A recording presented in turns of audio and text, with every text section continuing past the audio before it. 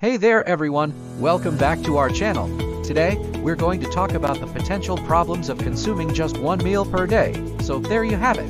Remember, it's essential to listen to your body and find a diet that works for you. Thanks for tuning in, and if you found this video helpful, don't forget to like, share, and subscribe for more health and wellness tips. Until next time, stay healthy and happy.